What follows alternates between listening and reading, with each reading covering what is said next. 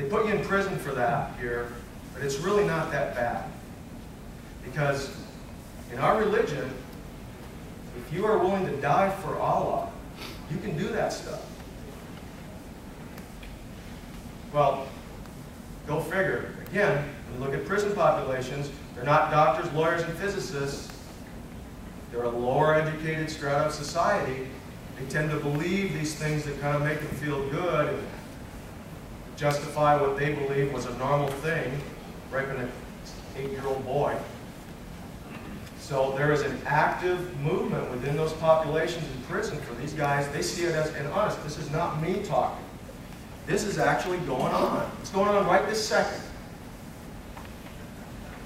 There is an organized movement by certain communities, and we're going to talk about the Muslim Brotherhood in a minute, and I'll tell you this right now, they are a terrorist organization. No matter what you read or hear from the mainstream media, they are a terrorist organization, and I'll talk about that in a second. But the Muslim Brotherhood set up all of these organizations, including CAIR, and all of these ones that are the benign faces of the, uh, the Islamic communities, and they are actively, they have a, they have a playbook, and if you ever get a chance to read it, uh, it was published, uh, I believe, in 1968 or something like that. It's a 100-year plan for the takeover of Western uh, civilization. And all of these organizations that are out there, CAIR and the North American Islamic uh, Relations and all this and that, they all tie back to the Muslim Brotherhood. So, who's a terrorist? Could be anybody. They don't have a look right now. By God, there's one. Not looking too good when they pull him out of that rat hole in Islamabad.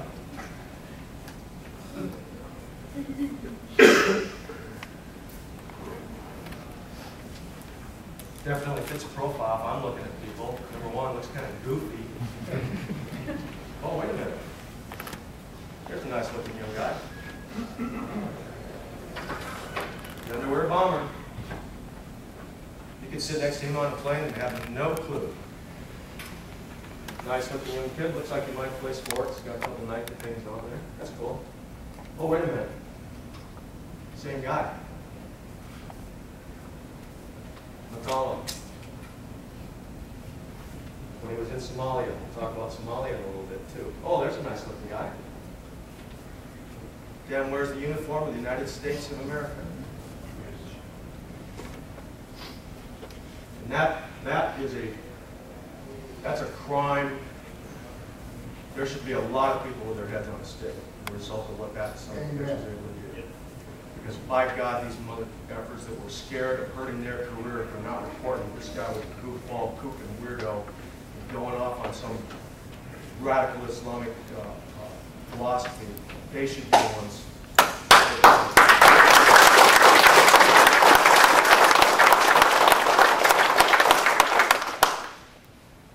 There's a current picture of Khalid Sheikh Mohammed.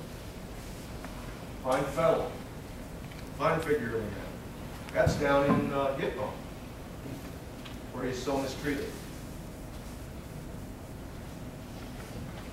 Oh. I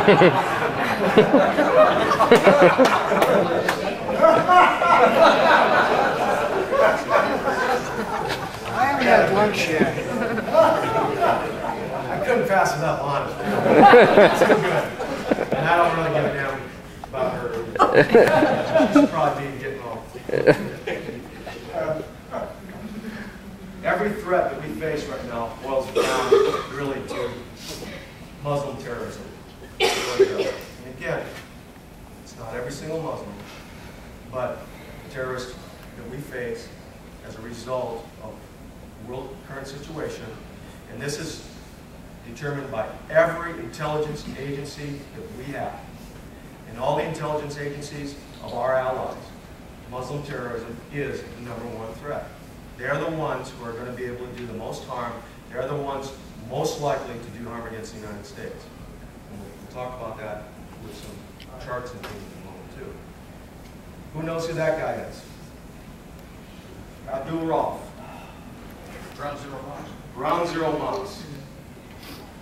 Real nice guy, talks about peace, gives lectures on, you know, the fact that we should work with our Muslim brothers and Christian brothers to come together somewhere in the middle, and have peace between our cultures.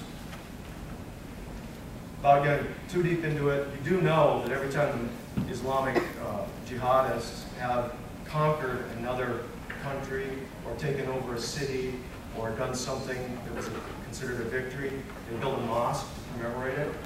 And they usually build it over the most holy site of the enemy, Temple Mount. Several places in India that they took over, they built a mosque on top of it, so now it's sacred ground to, to them. I'd say that was a victory mosque this guy was trying to do. Now, people say that's bullshit. This guy just wants to bring in a, a mosque so that there's Muslims can have their place of worship. Well, let's just take a little look here. This is his most recent book. What's right with Islam? Okay? Well, that, that looks like something I should probably read. Because I've got a real jaded opinion, obviously. Maybe I should read his book and see what is right with Islam. Because he's reaching out. That's the English version. You can buy it off Amazon. Or you can buy this book. The same exact book published in the Arab world. The name of it is A Call to Prayer from the World Trade Center Rubble. Islamic Dawah in the Heart of America post 9-11. Who knows what Dawah is? What Dawah is, is a call to Muslims to go out and convert non-Muslims to the religion of Islam.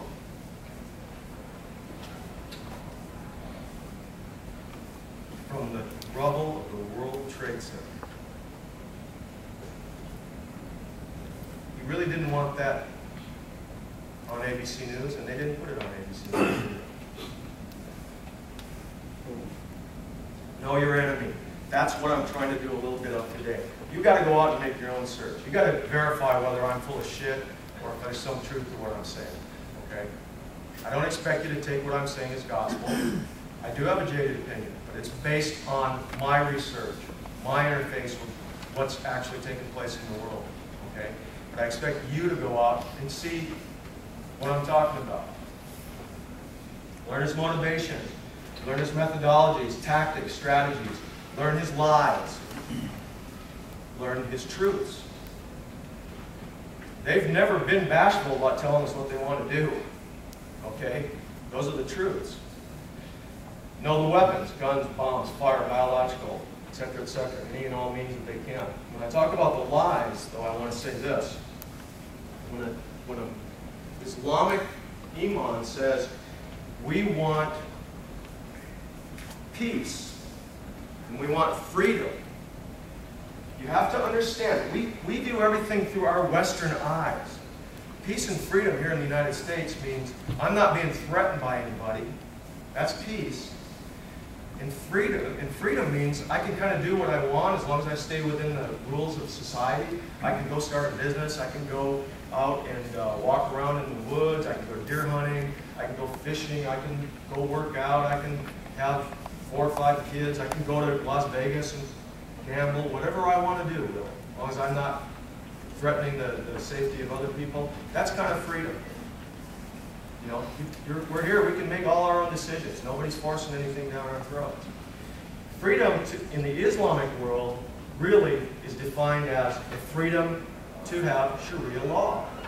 So when they give these speeches and say, well, we want freedom too, the trouble with it is everybody runs with it and says, oh my gosh, they want freedom just like we do. Well, their definition of freedom is a little different.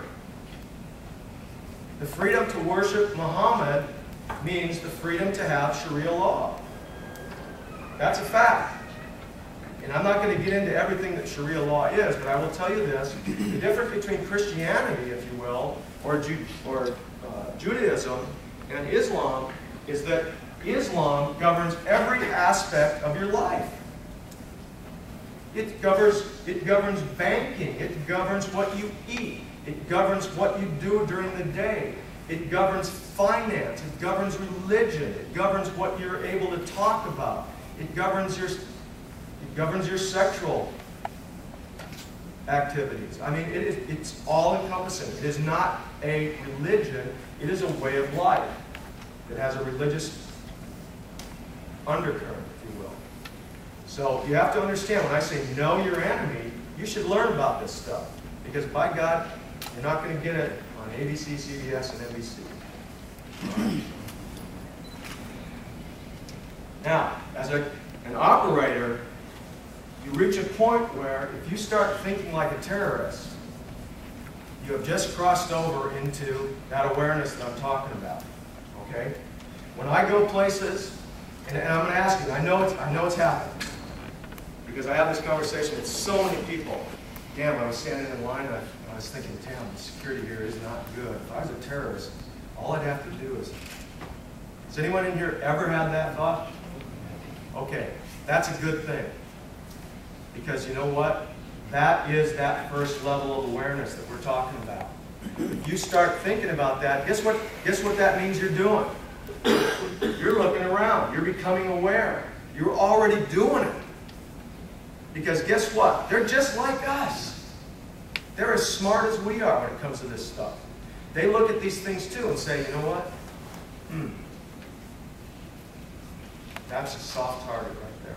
That's a spot where we can hit. Okay? Believe me, they're out there. Uh, I can tell you stories about, you know, all these things about the, the 12 imams, or not the 12 imams, the, the, the imams in Minneapolis that were going to get on the plane and all that. That's, oh, the poor guys were just praying. Bullshit. I know the inside story and all that. Okay? They were testing what it takes to activate our system, to bring our air marshals and that out. Okay? It's part of the whole thing. What is it going to take to activate a response? And it's ongoing. None of it ever makes the news. Weapons. One of the things that you have to understand is you are the weapon. You are the weapon. You are never unarmed. If you are alive and awake, you are never unarmed. And again, a lot of people think in terms of, well, I don't always have, always have a gun with me, etc. Uh, you know what? That's just a means. Okay? You are the weapon. You have to understand that. And that's part of when, when I give seminars on, hand-to-hand and all that stuff. I always have to tell people, look, you can't become weapons dependent. Okay? You are the weapon. If I have to use my bare hands to gouge someone's eyes out, I'm not unarmed. if I have to bash somebody in the head with a brick or a chair that I pick up because he's starting to spray fire around a mall, I'm not unarmed. I just don't have a gun, that's all. You have to think about that. You are never, ever unarmed. Ever. Fortunately, there, there's an arm. You are never unarmed. There you go. Now, my recommendations, where you start to get proactive, is I'm a gun guy. get a gun. Learn how to use it. Get a rifle. Get a shotgun. Okay? Have it in your house. Okay? We're responsible adults. We know all about safety. We know all about preventing children from having access to our weapons. But by God, you need to have a gun. Okay? And I can testify personally that you do need to have a gun. Because I've had it happen. All right? It helps a lot, especially if you're up against another gun. Get a concealed carry permit, one way or the other. I don't believe in just having my gun sitting at my house. I have a gun wherever I go. Okay? Because I don't get to pick when something's going to happen.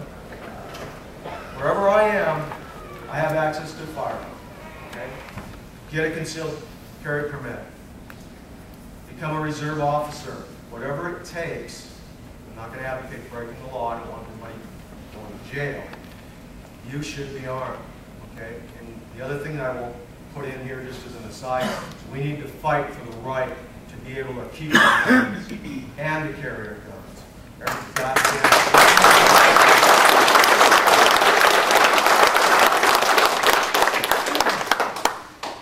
Training. Now we're getting into some of the training aspects, okay? You should be trained in how to use that weapon. And that does not mean going